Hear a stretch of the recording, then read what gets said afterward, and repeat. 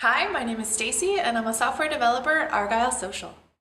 I've been finishing up a great new feature called the Hopper. We built Hopper to give community managers a more effective tool to do what they do best, share really good content.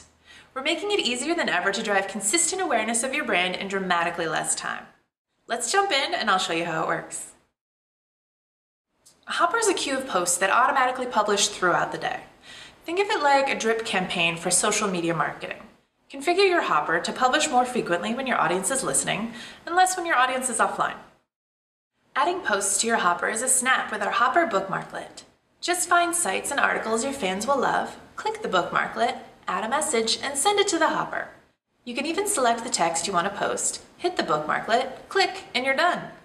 These two posts were just added to the end of my Hopper, but I can always rearrange the post order or send a post to the top if it needs to publish sooner.